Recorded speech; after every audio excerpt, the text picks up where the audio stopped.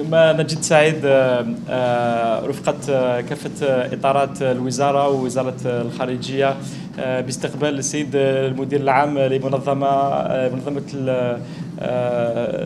اليونيدو التنمية التنمية الصناعية في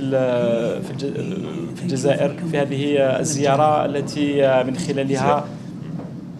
في هذه الزيارة التي من خلالها إن شاء الله آه، ستكون انطلاقة جديدة للتعاون بين الوزارة وبين هذه المنظمة المهمة جدا. آه، كما تعلمون آه، اليوم وزارتنا معنية بالتنويع الاقتصادي ولذلك فكان هناك منذ إنشاء الوزارة اهتمام خاص للحكومة الجزائرية تنفيذا لرؤية سيد رئيس الجمهورية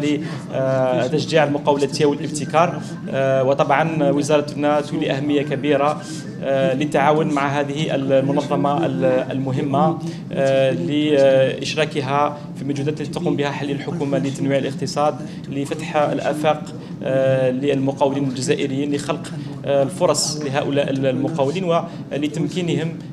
من تصدير خدماتهم ومنتجاتهم إلى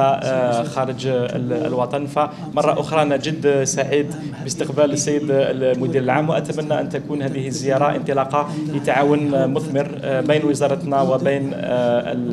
منظمة اليونيدو.